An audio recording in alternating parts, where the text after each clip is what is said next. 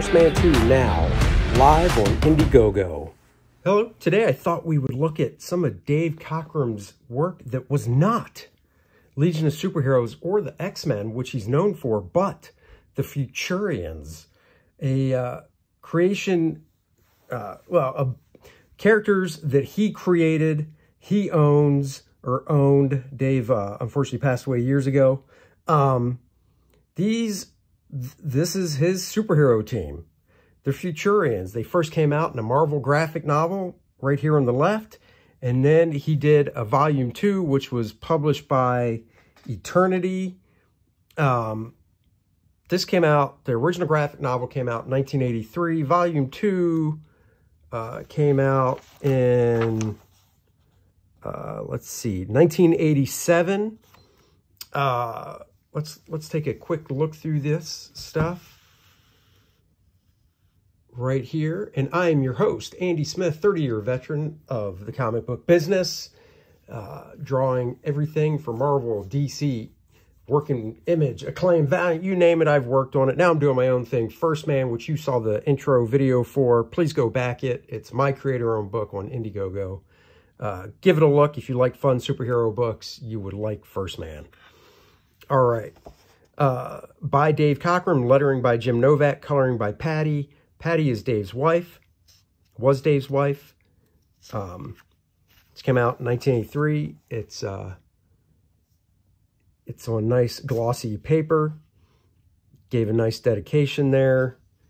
Uh, I haven't read this in years. This coloring technique on this is what they call blue line coloring. Blue line coloring, remember this is way before computers. So what they would do is they would take their original black and white art, they would copy that or print that on acetate, clear acetate, and then they would print it in blue on Bristol. So then when you put the acetate over the blue on the Bristol, it was just black and white. But the colors would go in using whatever they wanted, watercolor, acrylics, dyes, color pencil, doesn't matter, markers, color on the Bristol board over top the blue. The blue would be really faint so then when you put the black line back over it, the blacks were still nice and rich, but you saw the nice rendered color coming through. Uh, I haven't read this in years, so I'm not even going to go into the story. Uh, I just love Dave's artwork. To me, it still holds up to this day. Um, for back then, I thought this coloring was fantastic. I still really enjoy it. But, I, you know, once again, from today's uh, today's lens. I would like to see this stuff recolored uh, just to see how it would look by uh, a really good computer colorist today. Not knocking anything Patty did. In fact, the colors could use these as a color guide to go by. So they could still use a blue back here and give it a nice fade or whatever. They could put these nice tones into the, the golden helmet and stuff and just use these as a color guide. That's originally what Joe Chiodo did at uh, Image. He would do these fully rendered color guides just like this and then give them to a computer separator slash colorist to go in and match in Photoshop. And then eventually the computer colorist became good enough on their own where they didn't need the color guides like this anymore. Tell me, would that not be a great Phoenix costume? And I'm willing to bet this was a version of uh, Phoenix that he did that he, he put to the side. There's great storytelling in this stuff. He said, beautiful artwork, future dynamics. You know, I only met Dave uh, once, I believe at a Heroes Con, uh, early 2000s maybe. Very nice man. Uh, he inked this himself. Uh, when he did stuff for the X-Men, when he came back to the book after John Byrne left it, Joe Rubinstein inked a bit of it. I thought him and Joe were the perfect pairing. Love these costume designs. Joe created a bunch of Legion superhero costumes as well as, you know, the X-Men. I believe Storm and Nightcrawler were originally Legion designs he did that he scrapped. And then he, when he designed stuff for the X-Men, he brought them over, if I remember right. Uh, love these designs, though. Just great superhero designs. Knowing you have to draw this stuff day in and day out, they're not super complicated, but they're visually stunning. This book you can still get relatively cheap. I mean, you can probably get it for 10 bucks, if not less than that. I have most of the Marvel graphic novels from back then. Uh, you know, once again, if I had the time, uh, drawing the Futurians, doing a pinup or something would be super fun to do. This gives me a real Joe Kubert vibe for some reason. Don't know why. I don't know why. But it gives me a Joe Kubert vibe. That I do know. This does too, actually, this panel, this shot right here. Really cool monster design. Get the big shot here. The Futurians. I don't know who owns the Futurians. It'd be interesting to find out. Because it would be cool to be able to do, do something with these characters again. I think I think, darn it, that in today's day and age of comics, a book like this would sell. Could just be me. I don't know. But it's fun. It's visually impactful. Just a great book. This is one of my favorite character designs right here. This guy. His name is Werehawk. I mean, yeah, some of the names could probably be a little better, but, you know, Werehawk, whatever. It's still cool.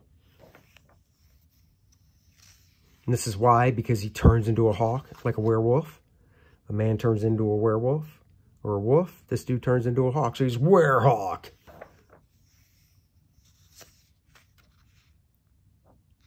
Uh, Dave actually, if I remember correctly, mm, Dave worked on an Avengers, was it an Avengers annual or an Avengers giant size? And there's a splash page in it.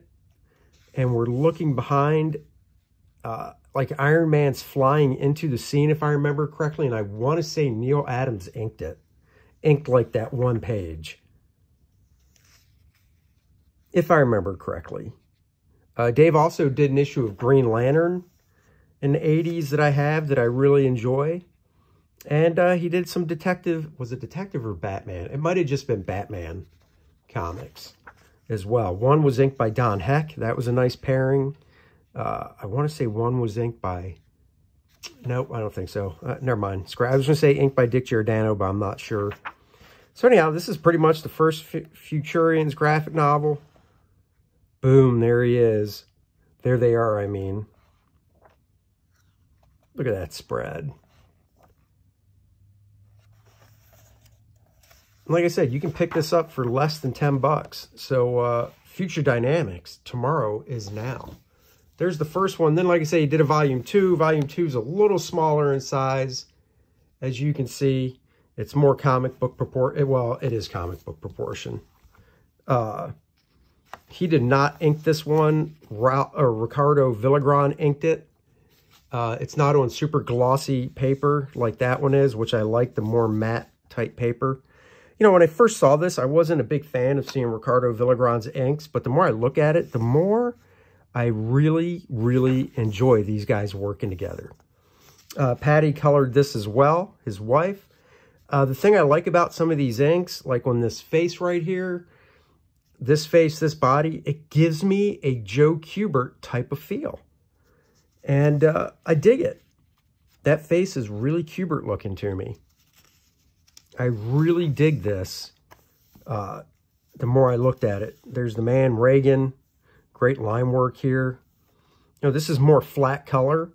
It's not fully painted like the graphic novel was. And back then, you would do more rendering like this to show the form.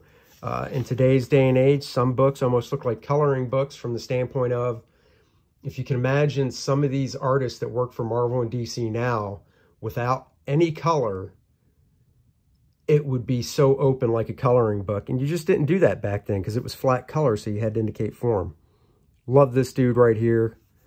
Uh, I think Dave's layouts for this one, he, he upped his game some four years later when he came back to draw this one. I need to go back and read this. That's very Kubert to me. A lot of this is I really like. I know I've said it. I'm going to keep saying it. I really like Ricardo's inks. You can probably find this on eBay really cheap as well. I wouldn't be surprised. Uh, I said, I, I can't really speak on the story because I haven't read this in forever. But I can just take you through the art and uh, hopefully you'll like what you see and uh, maybe try and find this book. So, big shots, introducing characters and stuff, fun layouts. Really, man, really Kubert looking the more I look at some of the rendering here. That's great. I think these were printed as single issues, but I'm not sure. But each chapter has a credit, credits, and that leads me to believe they were single issues first.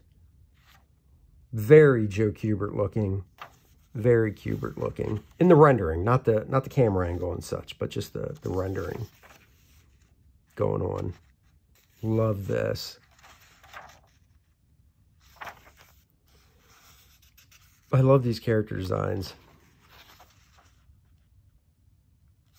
That's super Joe Kubert looking right there.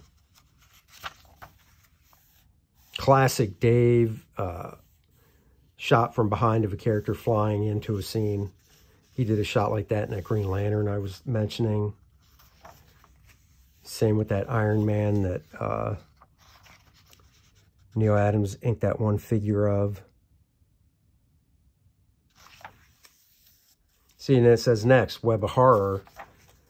And it starts off here. It's got all the credits. I'm thinking these were single issues that were collected, which makes me kind of want to hunt down the single issues of this stuff. Web of Horror. Beautiful shot. It would be fun to see this. i am also curious where these originals are. Um, these are not originals that I've seen out for sale. So makes me wonder where a lot of these originals are.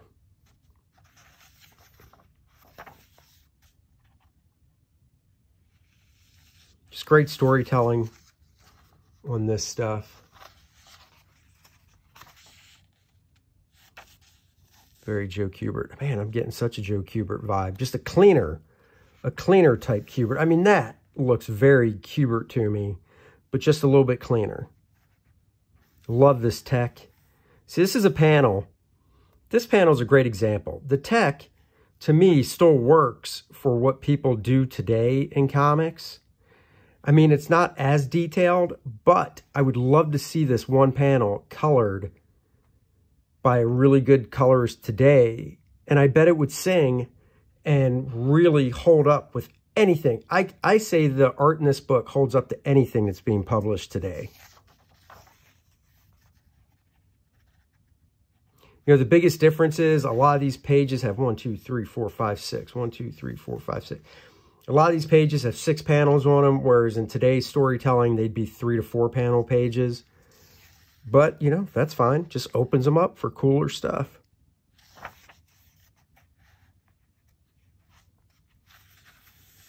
Firefall, next issue. I think this was originally a four-issue series. This one, Dave did some of the inks on himself. So let me see if I can spot the pages Dave did inks on compared to uh, Ricardo. So far, it's looking like Ricardo. That looks like a dude right out of the Legion of Superheroes right there. Let's see. So far, it doesn't look like Dave's inks. Love this shot right here. Very Neal Adams-esque. Still looks like Ricardo's inks. This looks like Dave's inks. This looks like Dave's inks as well. I think these two pages were inked by Dave. Yeah, this looks like Dave's inks to me. It's not as much feathering and rendering. This is definitely Dave's inks because it's more solid blacks.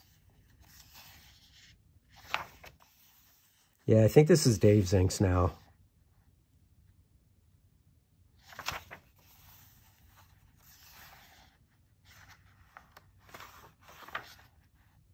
Look at that. It's like Phoenix flying into the sun. You just imagine...